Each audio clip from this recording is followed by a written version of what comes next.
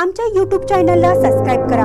महानकारी news subscribe करा आणि notification on करा. नोटिफिकेशन ऑन केल्यामुळे आमचे अपडेट आपल्यापर्यंत सतत पोहोचेल. सांगलीत घरफोडी करणाऱ्या दोघांना अटक. एक लाख एकाहत्तर हजार रुपयांचे दागिने जप्त. सांगलीतील वॉलनेसवाडी येथील वकील कॉलनीत सहा महिन्यापूर्वी घरफोडी झाली होती. या प्रकरणातील दोन संशयित चोरट्यांना पोलिसांनी अटक केली आहे.